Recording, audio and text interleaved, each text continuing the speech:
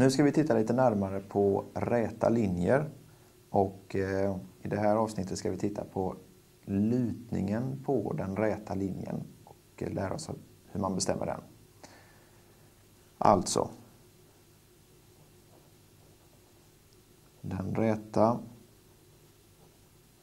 linjens lutning.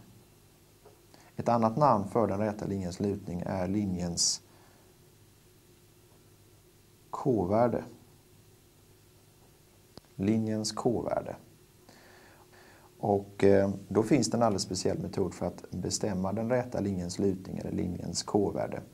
Och eh, den metoden vi då använder ser ut på följande sätt. 1. Bestäm två koordinater på linjen. Vi börjar med att bestämma två koordinater på linjen. Och vi tittar på linjen här igen.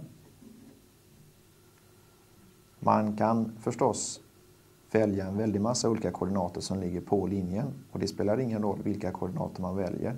Bara man väljer två stycken som är lätta att läsa av. Jag bestämmer mig för att till exempel bestämma den där koordinaten där. Och den heter i x-led minus 2 och i y-led minus 1. Men jag måste bestämma en koordinat till för att kunna bestämma lutningen och då väljer jag den här punkten här uppe som ligger på y-axeln. Och eftersom den ligger på y-axeln så betyder det att x-värdet är 0 och y-värdet är 3. 0, 3 heter den koordinaten. Man anger alltid x-värdet först och sen y-värdet och likadant här nere. x-värdet först, minus 2 och y-värdet sen, minus 1. Vi har alltså valt ut två stycken koordinater på linjen. Då kan vi fortsätta att bestämma k-värdet här nere. Våra två koordinater alltså, minus 2, minus 1 och 0, 3. Nästa steg i det här, det är att definiera k-värdet. Och k-värdet, eller linjens lutning, bestämmer man som delta y dividerat med delta x.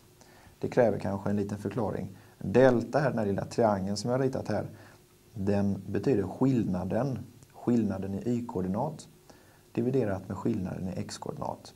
Så vi ska alltså jämföra de här båda koordinaterna som jag har tagit fram och undersöka vad det är för skillnad mellan y-värdena och sen dividera vad skillnaden är mellan x-värdena. Vi gör det. Vi börjar med den här koordinatens y-värde som är 3 minus den här koordinatens y-värde som är minus 1. Och dividerar det med den första koordinatens x-värde minus den andra koordinatens x-värde som är minus 2.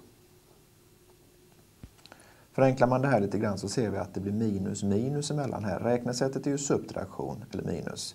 Och eftersom vi ska dra ifrån ett negativt tal så blir det dubbla minustecken här. Och minus minus brukar bli plus. Det betyder att vi får 3 plus 1. Och 0 minus minus 2 borde bli plus 2 bara.